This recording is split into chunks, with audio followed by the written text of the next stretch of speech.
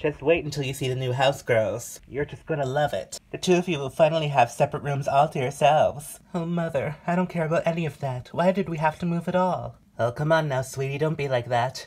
It'll be nice out in the country, you'll see. Well, I just know Goldie will love it out in the country, won't you, Goldie? Of course she will. She's a dog. You'd have to be a dog to like it out here in the sticks. I mean, is there even a shopping mall? Oh, Lindsay, hush now, will you? Your father and I are under enough stress as it is. Now, I know moving is hard, girls, especially at such a young age, but it'll be good for you, trust me. Living back home just got far too expensive. And I did get quite the deal on this place. I'm sure you'll find lots of new friends, especially in your new schools. There it is, just up ahead. Are you ready, Lindsay? I'm sure I'm ready for something. Mike, Carolyn, it's so nice to see you again. Welcome to your new home. These must be your daughters. I see where they get their good looks from. Well, thank you for introducing us to such a place. It is marvelous, isn't it? Girls, this is Barbara, our realtor. It's a pleasure to meet you, girls.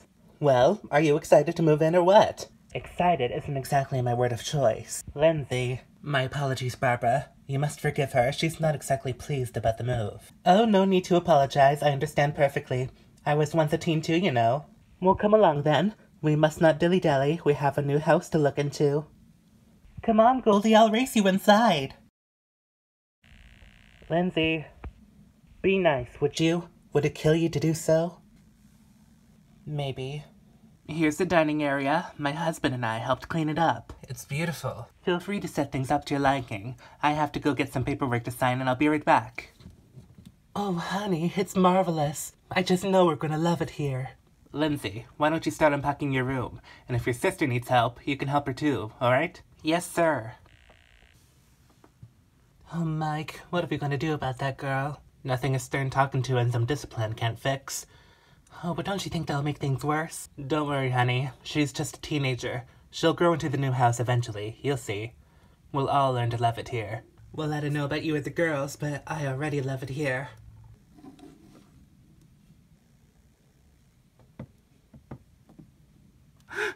Whoa, given you a fright, have I? Who are you? Well, I'm Billy, Barbara's nephew. Oh, well, I'm Lindsay.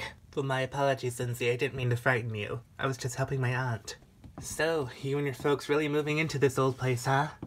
You say that like it's a bad thing. Well, some would say so. Well, why would they say that? You mean they haven't told you? Told me what? The story about the old ghost bride that lives in the attic? Oh, please, give me a break. It's true. My friend told me so. And do you believe everything your friends tell you? If you don't mind, I have lots to unpack here. I'll say. It all happened 20 years ago, almost to the day. Marjorie Blywood was soon to be wed to her true love. They fell in love in this here house, and that was where they planned to get married. On the day of their wedding, he got cold feet and ran away, never to be seen again. Marjorie is heartbroken and humiliated. Out of heartbreak, she went up to the attic and hung herself. Rumors say that to this day, her ghost haunts this place, waiting for her true love to come back and marry her. It is then her soul will be free. What a crock. It's true. Haven't you wondered why people haven't lived in this house since? Maybe it's the neighbors that are scaring them away. Funny. All I'm saying is be careful, Lindsay. Or what? The ghost bride will come and get me and my family? I'm scared. Alright, but don't say I didn't warn you. I'd hate for a pretty girl like you to get hurt. Alright then, everything seems to be in order.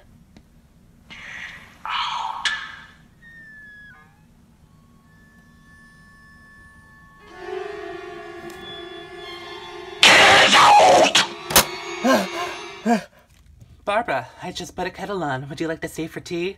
Oh, no, sorry, I, I really must be going. So soon? But you just got here. I'm sorry, maybe another time. I gotta go. What do you suppose? What's her rush? You know realtors, honey. They're always busy. You ready for bed, sweetheart? Yes, Mom. Good, because so am I. Good night, sweetheart. Mommy. Yes? Can you check the closet? Well, whatever for, dear. I was playing up here earlier with Mr. Bear and I saw a lady in there. A lady? Are you sure it wasn't Lindsay playing a little joke on you? I saw someone, Mom. I know I did. Oh, alright then. But there's no such thing as monsters if that's what you're concerned about.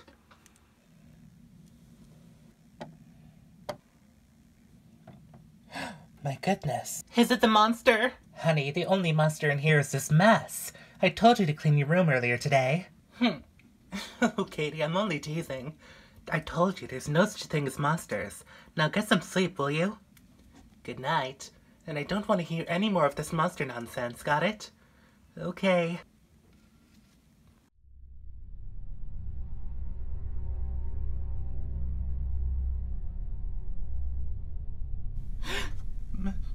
M Mommy? Mommy! Katie? What? What is it? Well, um, can I sleep with you and Daddy tonight? Oh, for heaven's sakes, Catherine, don't scare me like that. I suppose. But don't make a habit of it, alright? Try not to hoggle the covers this time either. Between that and Dad snoring, I don't think I'll ever get any sleep. More tea, hon? Yes, dear. Mother, I had the most peculiar dream last night. Like what, sweetie? I don't know, some scary woman in a wedding dress. Could also be that story that Billy told me yesterday. Billy? Oh, it's our next door neighbor. You had a boy in the house without my knowing? Now, Mike. Whatever you dreamt last night, Lindsay, I'm sure it was just that. There's no such thing as ghosts. Sure there is. I saw one in my room last night. There you go. Now look what you've done. Of course, everything is just my fault. Catherine, where's Goldie? I don't know. they haven't seen him all morning. I'll go check outside. Don't stray too far, young lady. Goldie! Goldie, where are you? It's breakfast. Goldie? oh my god, how could this have happened? She was an old dog, hon. I'm sure it was just natural age. That's not possible. Goldie was so healthy just yesterday. Take your sister inside. Your mother and I have to talk. Don't worry, Katie. We can get a new dog or something. How could this have happened, Mike? Goldie was just fine yesterday. I spotted some markings on the other side of her belly. I think an animal got to her. An animal? What kind of animal could have done that? I mean, there's nothing but squirrels and rabbits around here. Who knows, a loose coyote or something? It has to be something, Carol. Well, whatever it is, we can't let it get near the girls. When they're outside, we must be supervising them, especially Katie. Honey, it's not that serious. It's just a one-time animal attack. What are the odds it'll come back? What a way to start a new move. Don't worry, my love. It can only get better from here, right? So, you believe me after all, huh? I just don't understand. Why would she be after us? It's not you she's after. She's after her true love.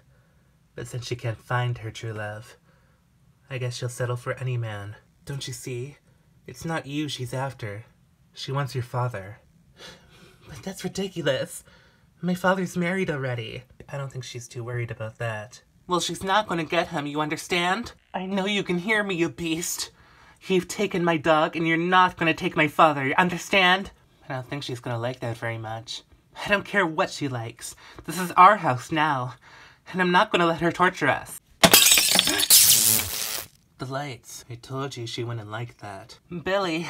Don't worry, Lindsay. I won't let them hurt you, I promise. Billy, behind you! It's my wedding day, and I want my groom. what is going on in here? Mother! Mother, please, there's someone in the house! I'll say. Do I know you, son? Um, I'm Billy. Sorry, I'm Barbara's nephew. Daddy, please, you have to believe me. We need to get out of this house. Right now. What are you talking about, Lindsay? The ghost bride. She's real. Billy, was it? Why don't you and I go look for this ghost bride, huh? Uh, sure. Lindsay, what has gotten into you? Mother, please, you're not just stories, it's real. I saw her with my own two eyes. That's enough. If your sister hears about this, she'll have nightmares for weeks. We need to go. Now. We're in danger. Father is in danger. The ghost bride wants him. That's enough. I don't want to hear any more of this. Mom, please. She's gonna kill father and she's gonna kill you too. I don't know what has gone into you, young lady. I know you're not a fan of this new house, but I will not tolerate this behavior. Do you understand? But Mom, we need to stop her before it's too late. Go to your room. Mother! Now! so what do you think? A baseball bat to take them down? With all due respect, sir, I don't think a baseball bat's gonna take them down. This being you see is not human. Son, I don't appreciate these games. It's not a game, I swear. You and your family are in grave danger, and I'm afraid if we don't get out sooner than later, it's gonna be too late. This has been a waste of time. Sorry, but I don't believe in fairy tales. I must ask you to leave my home. Sir, please, you don't know what you're doing. Oh, I know exactly what I'm doing. I know what's best for my family. You don't. Now go. What a waste of time. Ah, my love. How I've longed that we would be reunited. Who are you? Yours until death do us part. Ah, no! You may kiss the bride. Ah! What is going on up there? He must have found a mouse or something. Honey, what's all that noise up here? Mike? Mike? Mike? Who is that? Ah! I found my groom.